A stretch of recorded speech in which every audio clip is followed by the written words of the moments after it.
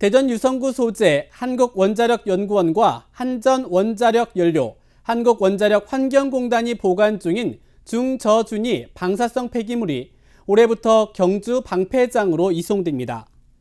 현재 세계 기관이 보관 중인 중저준위 방사성 폐기물은 3만 98드럼입니다. 원자력연구원 보관부는 연간 1000드럼씩 2030년까지, 원자력 환경공단 보관부는 5년 이내에 모두 방패장으로 이송할 계획입니다. 한전 원자력 원료 보관 폐기물도 경주 방패장과 협의를 마치는 대로 경주로 이송합니다. 그러나 원자력 연구원이 운영하는 연구용 원자로 하나로에서 발생하는 고준위 방사성 폐기물은 이송을 하지 않고 현재 보관 상태를 유지합니다.